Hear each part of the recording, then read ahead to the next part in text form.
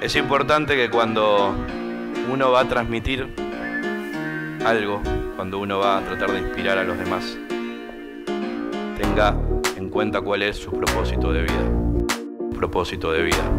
Otras veces decimos que creemos que tener dinero, cuando tenga dinero, voy a estar feliz. Cuando tenga dinero, voy a estar contento. Cuando tenga dinero, sí me voy a ordenar financieramente.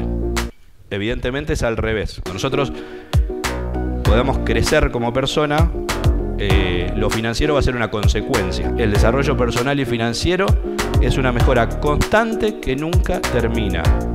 Si nosotros no empezamos un día, si nosotros ese día no lo decidimos, diría, no lo decretamos, no lo decretamos, no lo decretamos, nunca vamos a poner en marcha todo este proceso que necesitamos hacer para que podamos empezar a alcanzar objetivos objetivos que se van a ir sumando.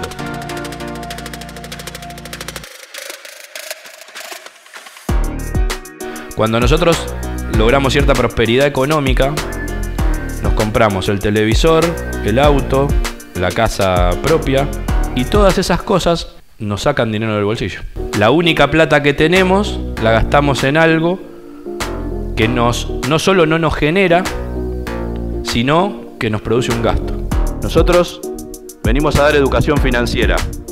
Nuestra idea es hacer el canal masivo a nivel nacional. Vamos a dar charlas en los sexto grado y en los primeros años de los colegios. Necesitamos que los chicos se pongan en modo inspiración, que detonen sus límites, que se vuelvan seres extraordinarios, que tengan la posibilidad de crecer día a día, que no los lleven como manada a donde quieran. Todos ellos comentan lo que ustedes ven ahí.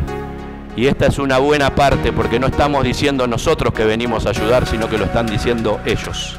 Son comentarios de cada uno de los videos que tenemos. Empecemos a meter en la agenda algo de buena alimentación, algo de actividad física, y ya vuelvo a trabajar con otras ganas y eso es un, bucle que se retroalimenta, pues si yo estoy trabajando en lo mental, estoy trabajando en lo físico, estoy trabajando en la salud, estoy trabajando en la alimentación, me va bien financieramente, estoy trabajando en mi interior, ¿cómo me puede ir?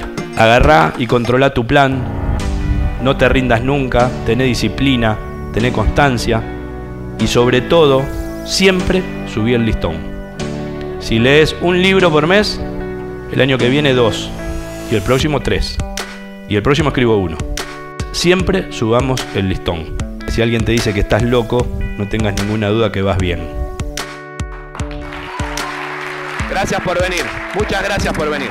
Gracias, gracias.